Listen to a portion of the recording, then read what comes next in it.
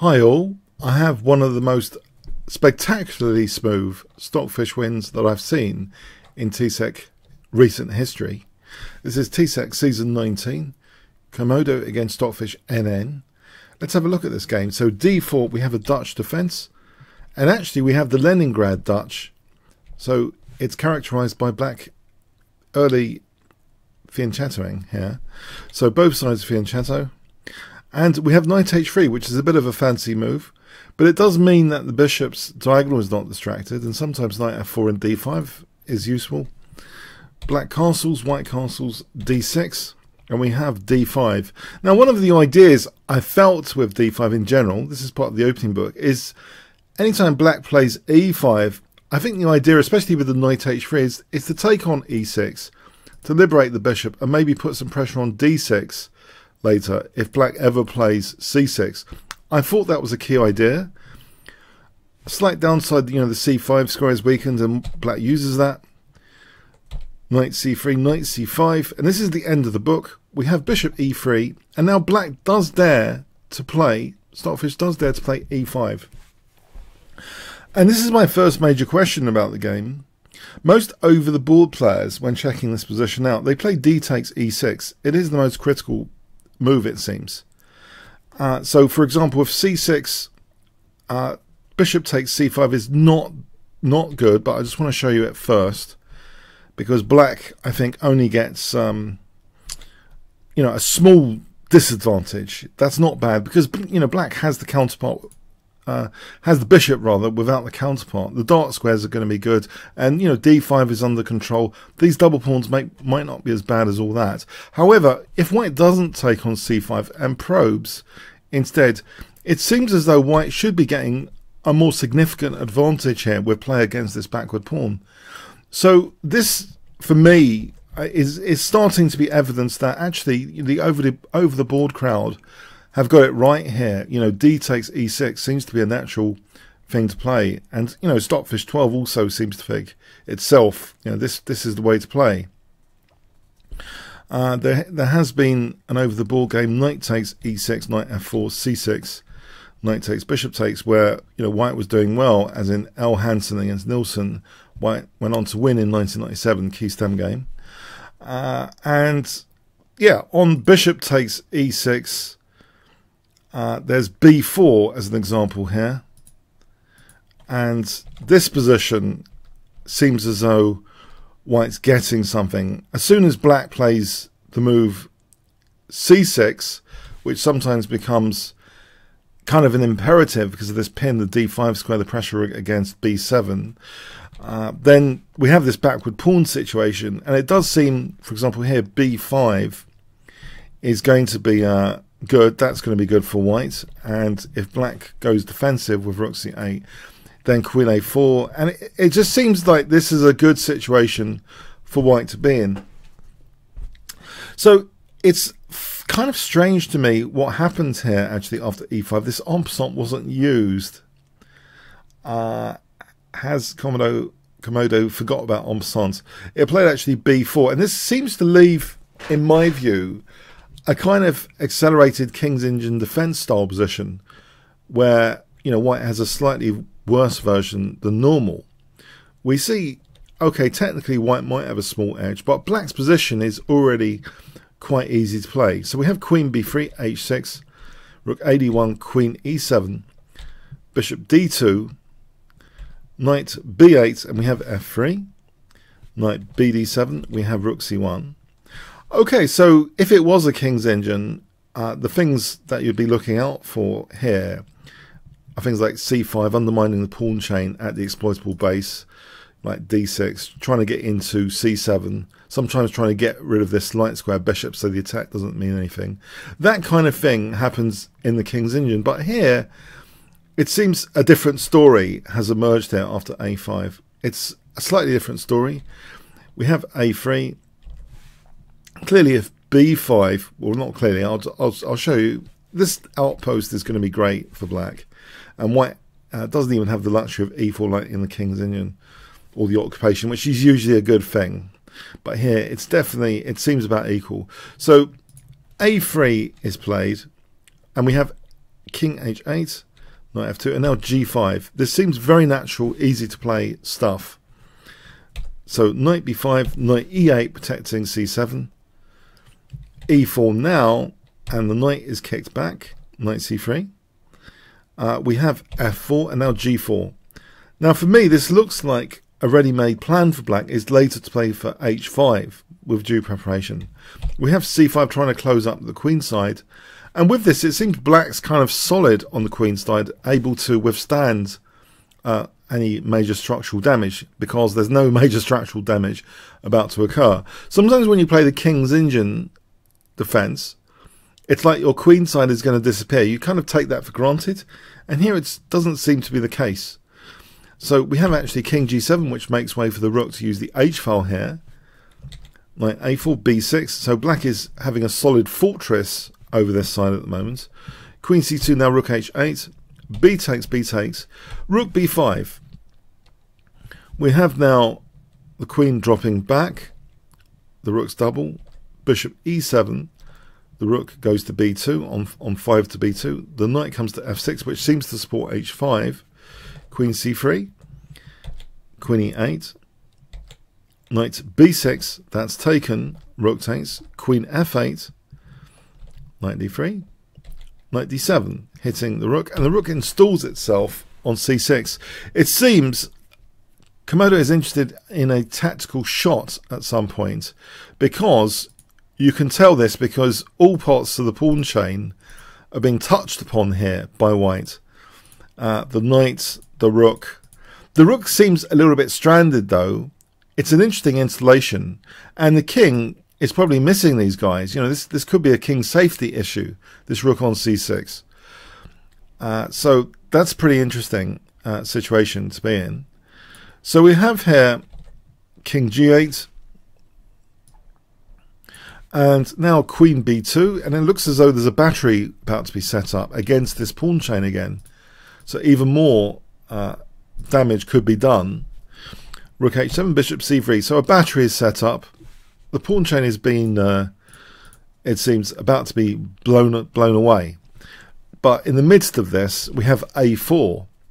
This is a pretty interesting move, actually, getting the pawn away from that bishop. Sometimes there's a resource which might creep in like this using the a5 square sometimes. Uh, so we have queen b5, bishop d8, bishop f1, rook f7, king g2, queen e7. It seems this is a small quiet before the storm period here. So queen f8, bishop d1, quiet before the storm, rook h2, and we have rook b2. And here black dan did not dare to play h5. It seems Stockfish then has learned from Leela to do a bit of shuffling to test things, run some tests on the opponent uh, to see if they have a less than optimal configuration. So we have this kind of waiting move, rook f7, rook a2, and this rook a2 actually seems a, a small inaccuracy by all accounts. However, rook b1 is also it seems, from my limited analysis, it seems as though black could be enabled for an attack even with rook b1. This is just a variation, for example, rook h7, h5, knight f6. So one pawn sack, white blasts the pawn chain. It seems black ends up maybe with an advantage here in the variations I checked. Uh, for example, like this, black ends up with an advantage, it seems.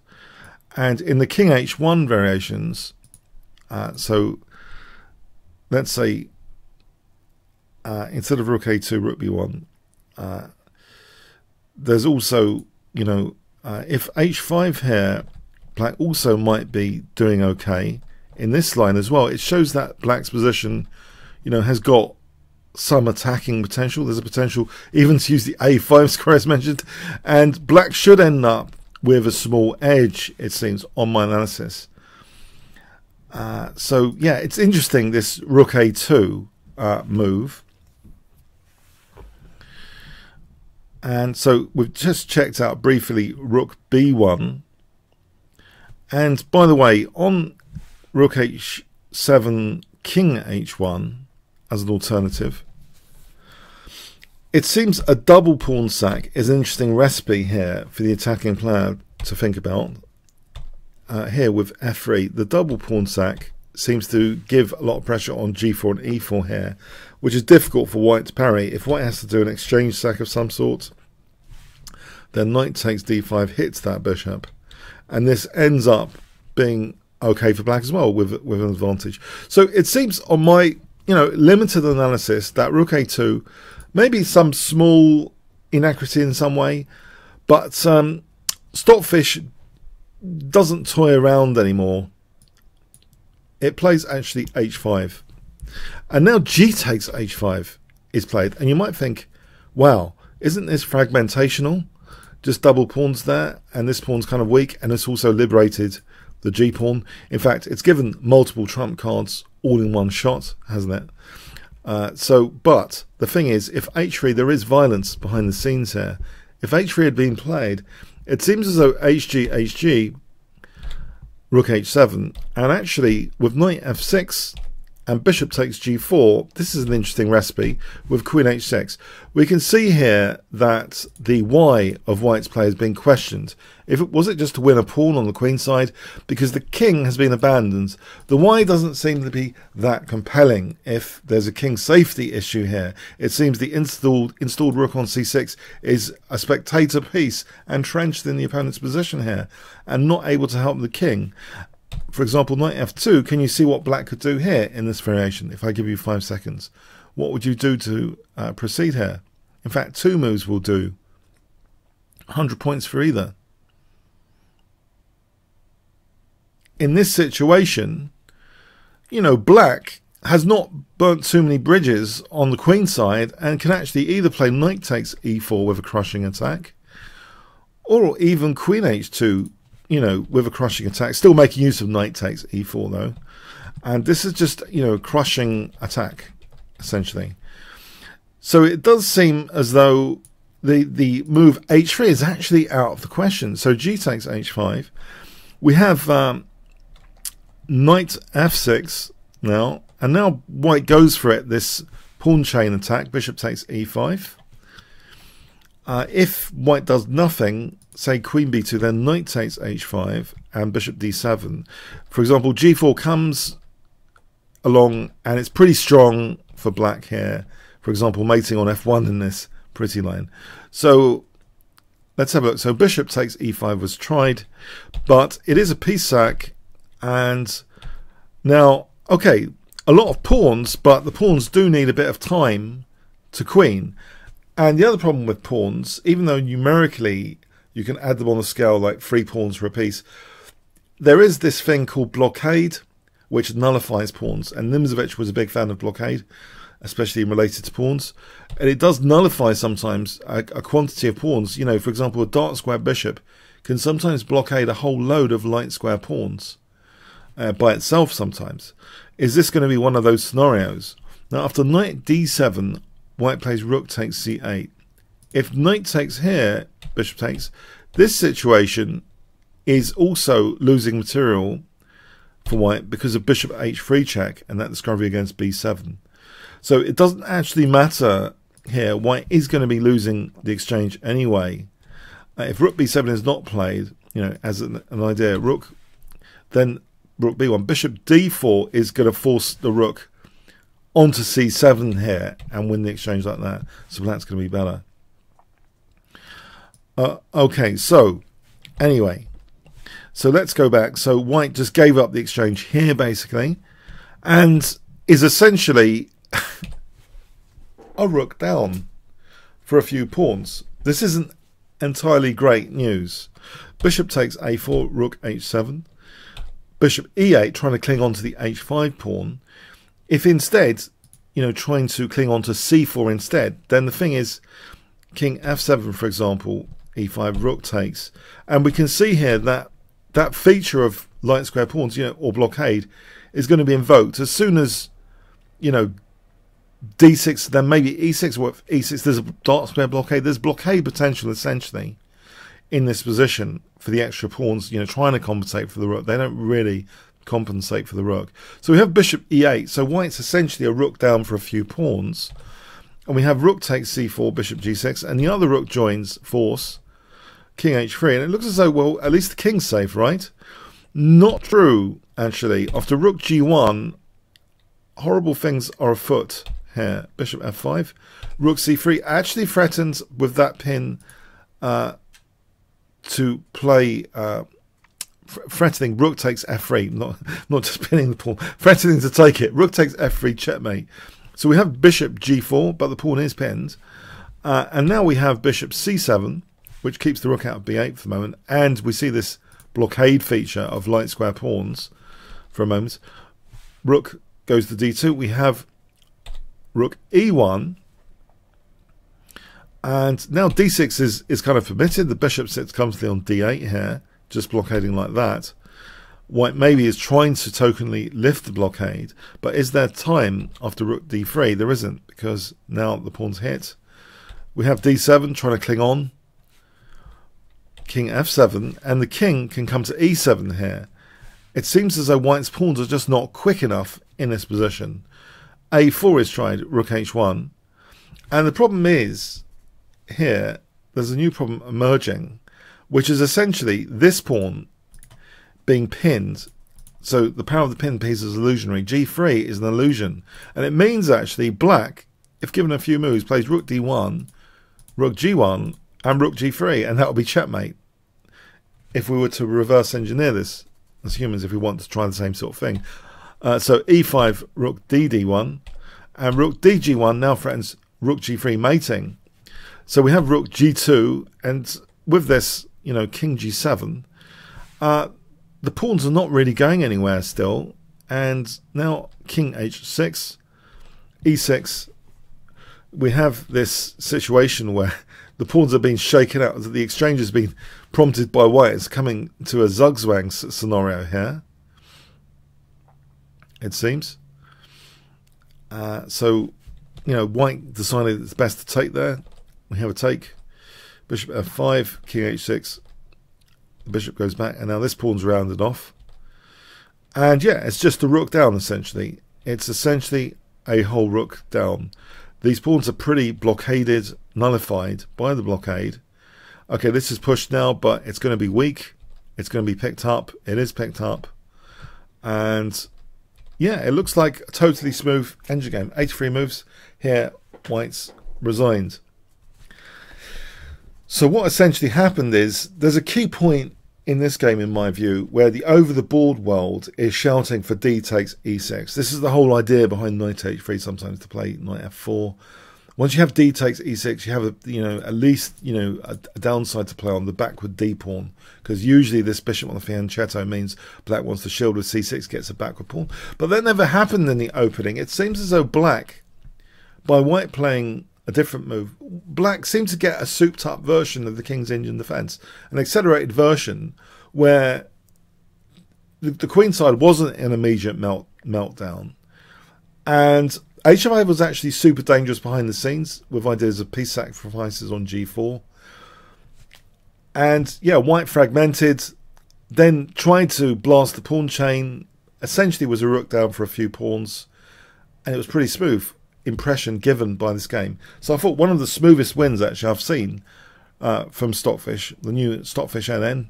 Pretty smooth win in my view, one of the smoothest in recent TCEC history. What do you guys think? Okay, by the way, I've got a new course at Udemy, Kingscrusher TV slash Opening Tango, which is all about uh, the tango systems.